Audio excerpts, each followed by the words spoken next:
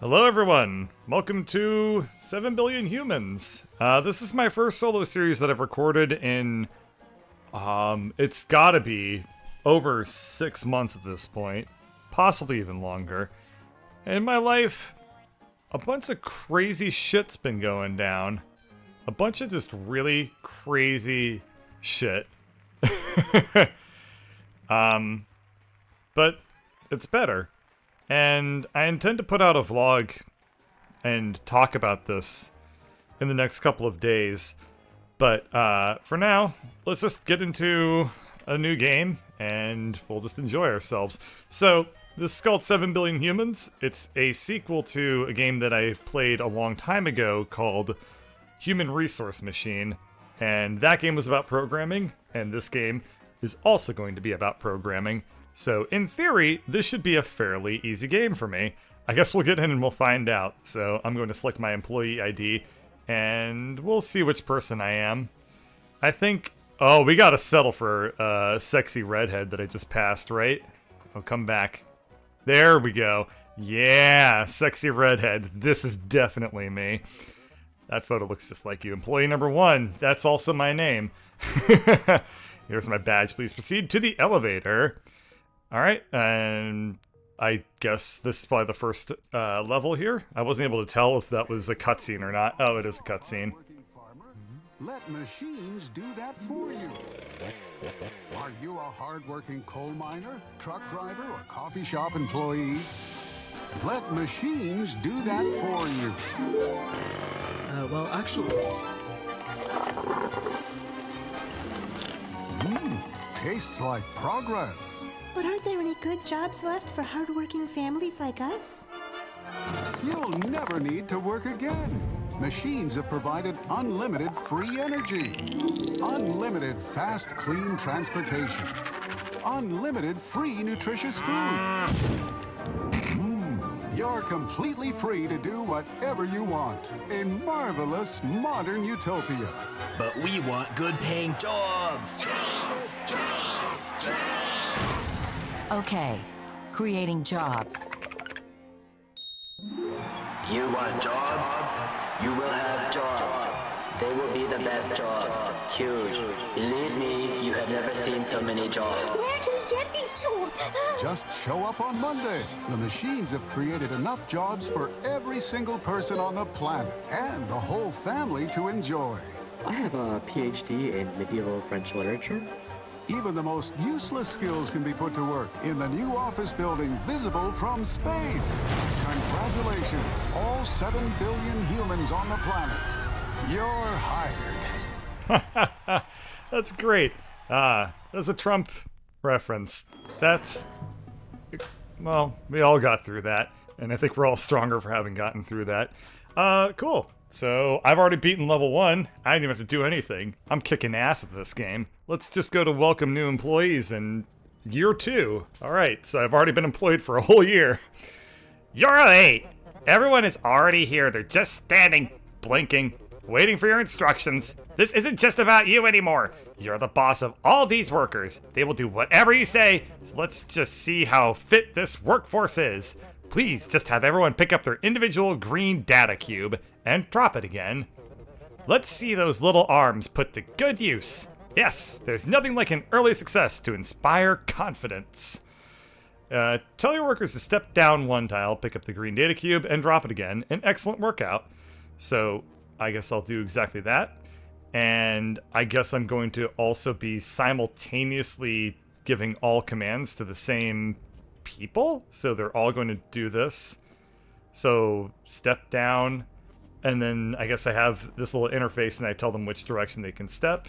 And there we go. So let's play this out.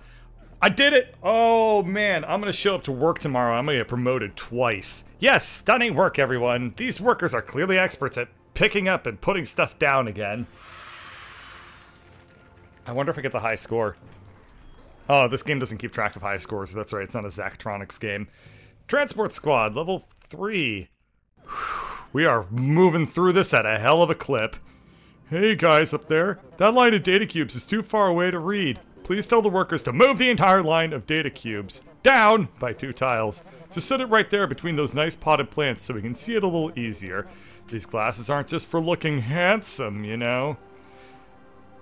Yep, it looks like the premise is that it's going to be that will just command all humans at the exact same time. Wait a second, isn't this character me?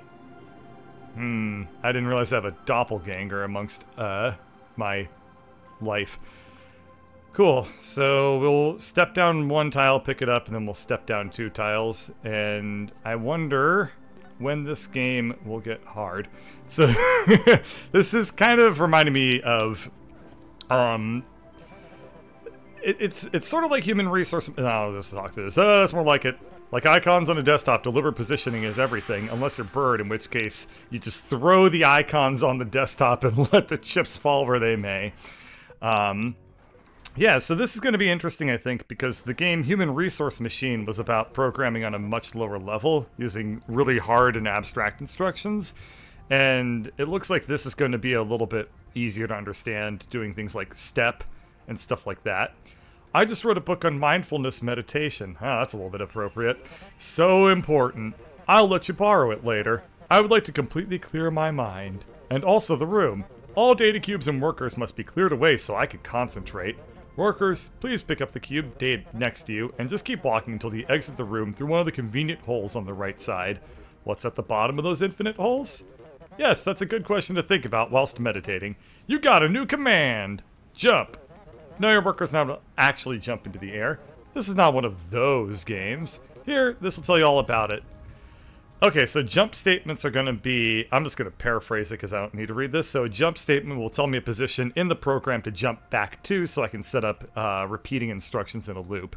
So if I just do a step to the right and then pick up, and then I do step to the right and I just do jumping a jumping structure back like that, I will just keep running through those commands over and over again.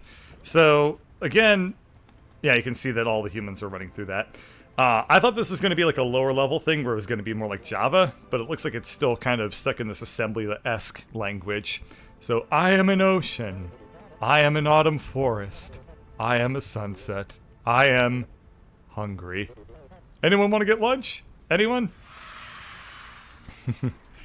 I like this uh, game's take on the automated future where everyone's completely unemployed and it it's up to robots to create work for people.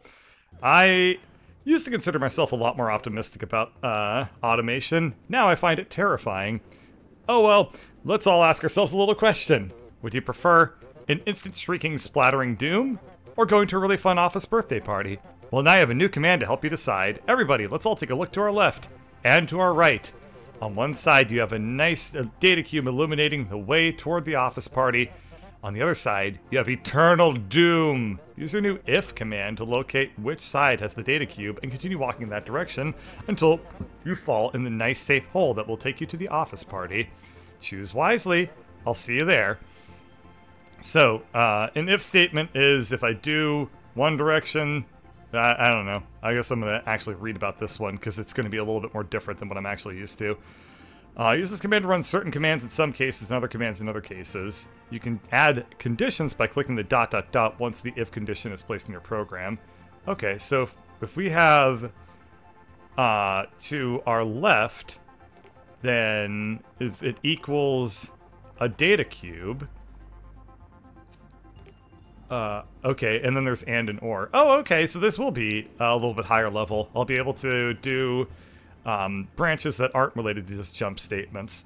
So if to our left we have a data cube, what we'll do is we'll take a step to the left, we'll pick up that, and then we'll take a step to the left, put it into a loop, and then by doing this, you see what we're going to do is we're going to step, pick up, step, step, step, step over and over again. In the else part of this if statement, we're going to step to the right, pick up the cube, and then do our steps that way. So these two up, uh, these two guys or gals, they're going to go to the left and die. These two dudes, they're going to pick it up and go to the right and die. So couldn't be simpler. Let's put our jump statement down and we'll just put in our step to the right and play it out. There we go. So, the interesting thing about programming, yes, congratulations, it's truly a feat of engineering. I'm not feeling like attending the party, but you guys have fun. The interesting thing about programming is that if this there's been studies on this, if you understand jump statements and if statements, you basically can learn how to code. Uh, if you can't figure those things out, then you're screwed. So, it's like it's very interesting because in introductory level classes, you can kind of figure out who's going to actually be able to complete their degree based off of the first couple of weeks when they learn these constructs. So what I'm doing is I'm carefully explaining it so that because I know that those things are actually really hard for people who aren't familiar with programming. So maybe by watching this, you can learn how to do it. So just like this guy over here, I'm learning programming. In fact, I already solved this assignment for you. Well, sort of. The worker's supposed to go pick up the cube down below without falling in the holes but something's wrong. So I'll allow you to fix that for me. Let's watch what happens together.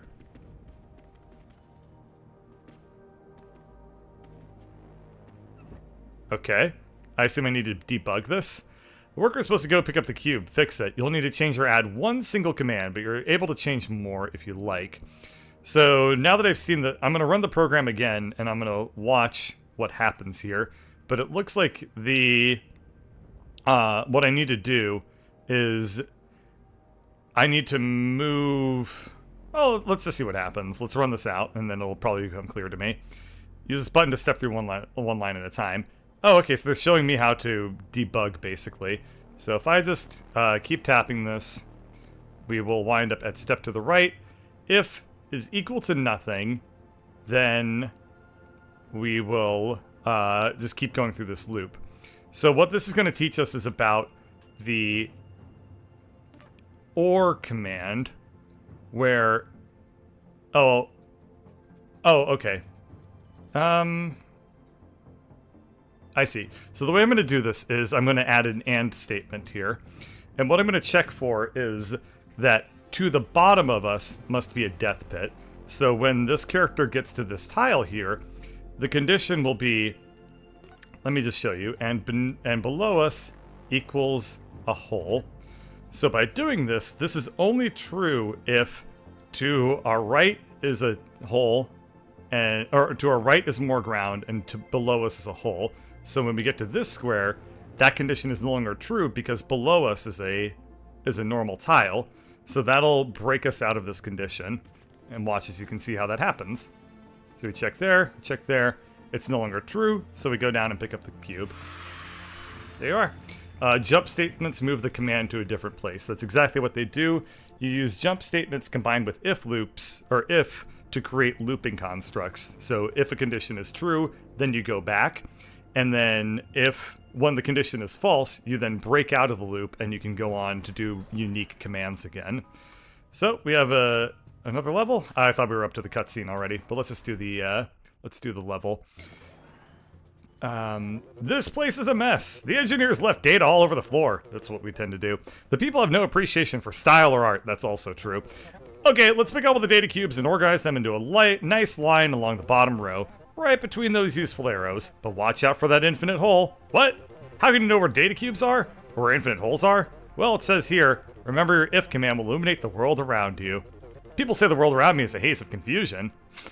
And I guess this is a comment block, so I'm supposed to be able to write uh, things down. So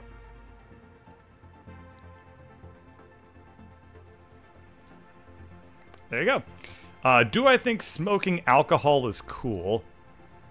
Hell yeah. That sounds awesome. I don't know. Okay, so what we're going to do is we're going to take steps down, and we're just going to... it. We're going to put an if statement, and everybody's at a different point, so I can't know ahead of time which person's going to arrive at which data cube. So what we're going to do is if beneath us is a nothing, then we keep stepping down. Once we're done with that, we'll then pick up the uh, the cube or the spot that we're on, and then we'll just do another if check. Uh, and I also forgot that I need to put a loop in here. So basically, If there's nothing, then we step down and then we check the if statement again. Once the if statement is not true, implying that there's a cube beneath us, then we break out of this. And we pick up the cube, and then we go forward again if what's beneath us uh, is not equal to a hole.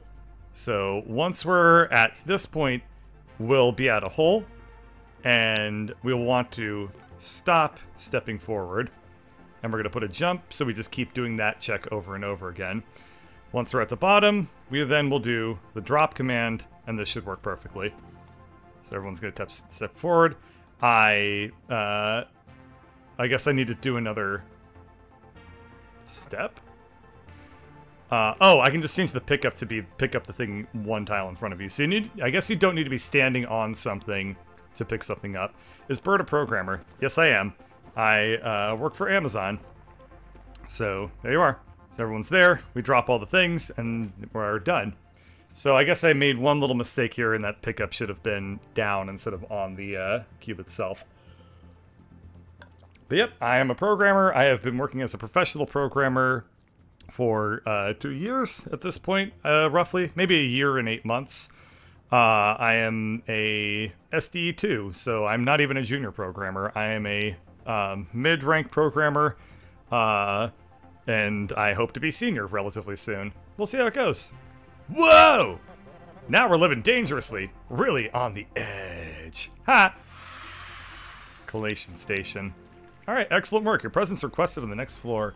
Uh, well, we have a cutscene to watch.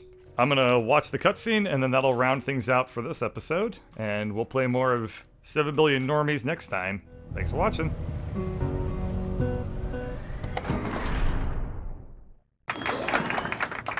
Congratulations, you're doing great. I cannot believe how great you're doing. As your employee morale officers, We are here to offer occasional tips on how to keep your workers feeling delighted.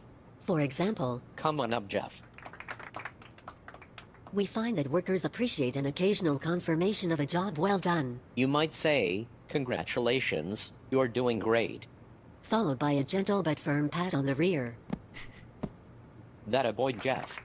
When I was his age, I was a refrigerator. Good work, everyone. You know how many salads wilted inside me? With enough teamwork and engineering, even a kitchen appliance can become a mid-level office manager. We're not just building data solutions.